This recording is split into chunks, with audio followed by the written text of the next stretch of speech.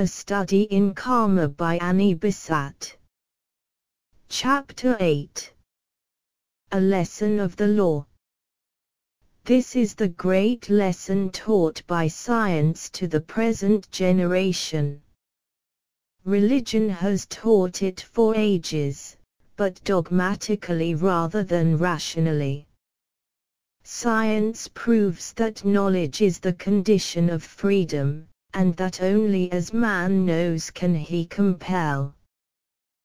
The scientific man observes sequences, over and over again he performs his testing experiments, he eliminates all that is casual, collateral, irrelevant, and slowly, surely, discovers what constitutes an invariable causative sequence. Once sure of his facts, he acts with indubitable assurance, and nature, without shadow of turning, rewards his rational certainty with success. Out of this assurance grows the sublime patience of the investigator. Luther Burbank, in California, will sow millions of seeds, select some thousands of plants, pair a few hundreds, and patiently march to his end. He can trust the laws of nature, and, if he fails, he knows that the error lies with him, not with them there is a law of nature that masses of matter tend to move towards the earth.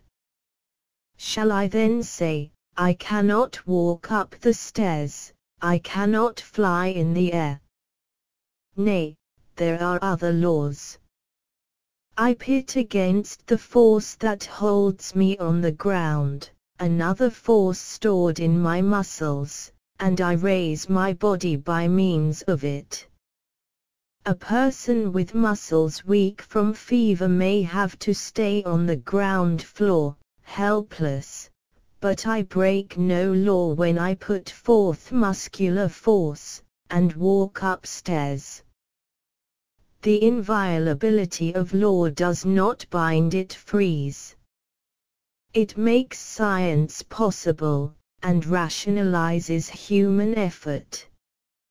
In a lawless universe, effort would be futile, reasons would be useless.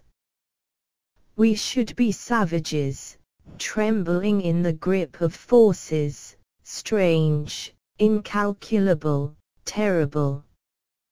Imagine a chemist in a laboratory where nitrogen was now inert, now explosive, where oxygen vivified today and stifled tomorrow.